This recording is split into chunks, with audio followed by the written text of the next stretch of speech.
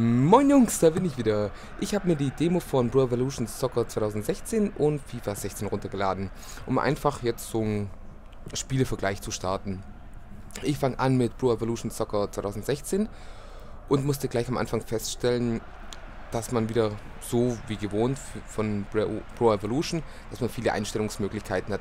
Ich konnte die jetzt nicht alle durchgehen und probieren, weil es war wirklich ein Haufen von Einstellungen und einzelne Spielwege von Spielern und ach, hast du nicht gesehen. Also es wäre mir viel zu lang gegangen, um da wirklich komplett durchzublicken. Ich glaube, da ist man echt einen halben Tag beschäftigt. Was mir aber relativ schnell aufgefallen ist, dass die Spielanimation, also wie die Leute ins Stadion reinlaufen, dass es glaube ich auf 60 FPS läuft. Also es sieht sehr, sehr flüssig aus. Das Spiel an für sich läuft glaube ich dann nur auf 30 FPS und es sieht auch nicht so schön aus. Also die Fans im Stadion das kommt mir sehr billig und veraltet vor, die Grafik. Die Animation von den Fans ist wirklich unter Katastro also ist wirklich Katastrophe.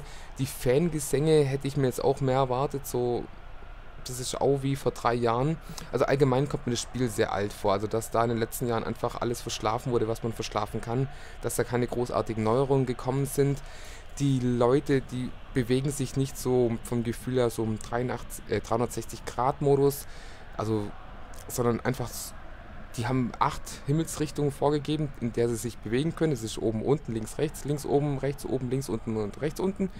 Und in den acht Feldern bewegen die sich. Also da ist auch wenig Spielraum. Mir kommt das ganze Spiel auch relativ statisch vor. Also die Abwehr, die bleibt hinten einfach stehen. Da ist keine große, keine große Bewegung drin. Die Stürmer sind immer die gleichen. Die haben, ihr habt wirklich so das Gefühl, so nach drei, vier Spielen, wo ich jetzt gemacht habe, dass man einfach die Wege von den ganzen Spielern schon voraussehen kann. Also es ist nichts Individuelles dabei, das ist alles statisch, so wie man es eingestellt hat, die, die Formation und so bleibt die 90 Minuten lang stehen, ohne Spielerwechsel oder so. Mir kam es jetzt auch nicht so vor, dass ich einen Unterschied merke, ob ich jetzt mit dem Innenverteidiger nach vorne dribbel oder ob ich mit dem Stürmer nach vorne dribbel. Also der Stürmer kam mir zwar einen Ticken schneller vor, aber sonst vom Dribbling, vom Schießen, vom Passen, egal was für Spielerwerte man hat oder der, der Spieler hat, unterscheidet sich nicht großartig von dem anderen Spieler. Also es ist, ich finde es irgendwie ein bisschen arg schwach, weil wir haben es jetzt 2015 und das Spiel kommt mir vor wie 2010 oder 11 oder ja, ist doch schon älter. Grafisch nichts hervorragendes, also vor zwei Jahren habe ich die letzte Demo von Pro Evolution Soccer gespielt und da dachte ich mir, Alter, ich, ich hocke im Stadion, die Grafik ist so gigantisch, das sieht aus wie echt und ich bin wirklich schockiert, weil vom Gefühl her habe ich so das Gefühl, die sind noch schlechter wie vor zwei Jahren. Also das Ganze geht so rückwärts.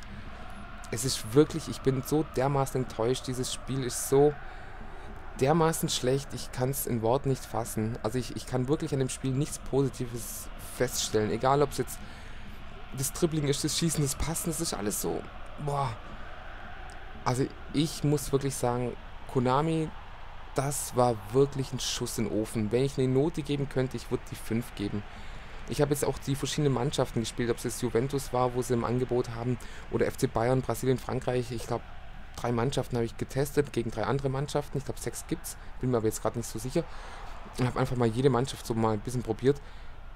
Also, ich muss sagen, mir ist nichts aufgefallen. Also, ich kann allein von der Spielerstärken oder von der Charakteristik von dem Verein konnte ich nicht wirklich herausfinden, in welchem Verein ich gerade spiele. Die, die Spiele sehen alle gleich aus auf dem Feld.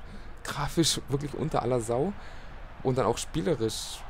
Die, also, es, es, es geht gar nicht. Also, es geht wirklich nicht. Ich habe dann auch relativ schnell abbrechen müssen. Ja, jetzt geht es weiter mit FIFA 16. Da ist mir gleich von Anfang aufgefallen, dass mir nichts aufgefallen ist. Also optisch farblich haben sie ein bisschen was geändert. So der Hintergrund ist jetzt so, so ein helles, fröhliches Hellblau, wo dann ins Dunkelblau übergeht. Spielerisch auf dem Feld musste ich sagen, die Fans sind immer noch so regungslos und animationslos wie davor. Das kennt man ja von FIFA oder anderen Fußballspielen. Das stört mich jetzt auch nicht unbedingt. Wäre zwar schön, wenn mal die Fans auch mal ein bisschen, bisschen Torjubel, ja, Torjubel zeigen sie, aber ja, so ein bisschen die Mannschaft anfeuern oder Trikots in die Luft halten oder Plakate oder so, das ist eigentlich alles wie gehabt, wie bei FIFA 15. Also ich vergleiche jetzt einfach mal FIFA 15 mit FIFA 16 und da ich, konnte ich jetzt keine großartigen Veränderungen feststellen. Klar, die Grafik ist super, vielleicht ein Ticken besser als bei FIFA 15, aber nicht so, dass es einem gleich auffällt. Die Abläufe von den Spielern, was sie so angepredigt haben, so dass die Abwehr noch mehr die, enge Räu äh, die, die engen Räume zumacht und auf die Stürmer eingeht, konnte ich jetzt nach drei Testspielen überhaupt gar nicht vorstellen. Also mir kam es eigentlich vor wie FIFA 15. Ich konnte eigentlich keinen großartigen Unterschied feststellen. Mir ist aufgefallen, dass der Torwart neue Animation hat. Das ist mir gleich aufgefallen. Dass die Schüsse sich ein bisschen verändert hat, dass wenn man falsch antippt, also die Schusshärte ein bisschen stärker oder schwächer macht, dass es eigentlich schon Auswirkungen hat. Jetzt nicht so gravierend, wie sie es im Vorfeld angekündigt haben, aber ich, ich merke ich, ich es einfach, dass es ein bisschen anders ist. Und die Abwehr, wo einfach die Schüsse blockiert und auch die Grätschen, also allgemein so das defensive oder der defensive Bereich, den haben sie ein bisschen angepasst, ein bisschen verbessert. Meiner, meiner Meinung nach eigentlich zum Positiven. Es sieht jetzt einfach ein bisschen authentischer und realistischer aus, aber es, der komplette Wow-Effekt fehlt mir einfach. Also ich muss sagen, das ist... Jetzt könnte man mit so einem kleinen 3,99 Euro 3,99 Euro DLC eigentlich auch ausbaden. Einfach den Leuten, die im Sommer jetzt die Vereine gewechselt haben, die anpassen, dann die neuen Trikots anpassen, kleine grafische ja, Leckerbiss noch reinwerfen in das Update und schon hat man FIFA 16.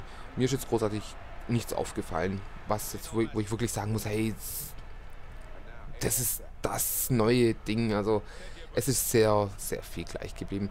Ist jetzt jetzt nicht unbedingt schlimm. Also der Sprung zu FIFA 11 und FIFA 12 war wesentlich größer als jetzt der Sprung zu FIFA 15 und FIFA 16. Aber es ist jetzt auch nicht schlimm, weil FIFA 15 hat mir schon gefallen. Und wenn FIFA 16 gleich ist wie FIFA, wie FIFA 15, passt es eigentlich auch. Ich hätte mir zwar mehr erwartet, aber kann man jetzt nichts ändern. Ich werde es auf jeden Fall spielen und ich freue mich auf den neuen Foot-Modus und auf die neuen Spieler und in der Karriere hat sich ja noch was geändert. Das kann man nur leider jetzt hier in der Demo nicht feststellen. Ich kann jetzt einfach nur das Gameplay, also ein Spiel oder ja, das Spiel an für sich das kann ich jetzt hier bewerten. Was jetzt im, im Menü oder unter Menü Neues dazu kam oder weggefallen ist, das kann ich jetzt noch nicht beurteilen mit der Demo, aber das wird sich zeigen, sobald die Vollversion auf dem Markt ist. Das war es auf jeden Fall mit dem Video schon. Meine Kaufempfehlung geht ganz klar an FIFA. Nicht, weil ich dafür einen Haufen Geld bekomme, sondern weil die einfach die Lizenzen haben und einfach das Gameplay viel geiler ist, die Grafik geiler. Es, ist, es ist, gibt nichts, wo Pro Evolution Soccer punkten könnte gegen FIFA.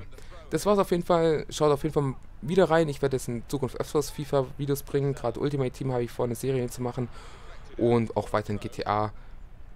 Und ja, das war's jetzt mal. Viel Spaß und einen schönen Tag noch. Und wir sehen